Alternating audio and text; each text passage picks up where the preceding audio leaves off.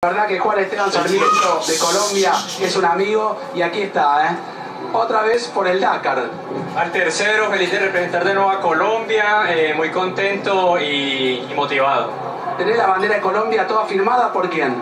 Sí, eh, de mi ciudad, Pereira, muchas personas se, se unieron a la causa y me mandan mensajes de apoyo para llevarla siempre y mostrarla. Siempre representando muy bien a Colombia, Chilo. No, muchas gracias, pero no sería posible sin la ayuda de mucha gente, de muchas empresas, del gobierno colombiano con deportes, ACERPA. Ellos me ayudan muchísimo, ¿verdad que sí? Sí, sabemos y lo estamos hablando continuamente lo que cuesta participar en un Dakar y lo bueno y lo importante es que dentro de unos metros vas a estar largando tu tercer Dakar.